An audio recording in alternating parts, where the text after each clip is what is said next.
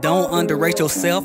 You are a 10. Your friends for the streets and you try to blend in. Value yourself and change your crowd. You love just chilling around the house. Not boring at all, just out the way. Your children is your treasure and your man is on the way. Just be fit, feminine, and faithful. Been a whole is distasteful in the eyes of a few.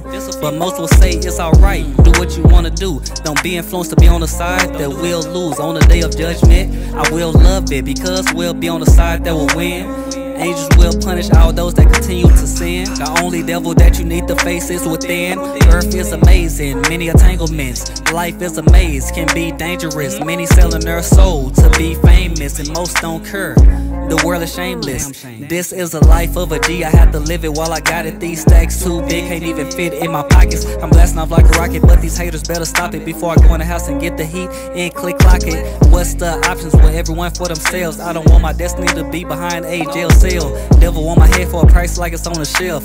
Life is too short, like one, a sound of elves. Underrated, underrated. Mm, why I'm so underrated. Mm, why the world hate me.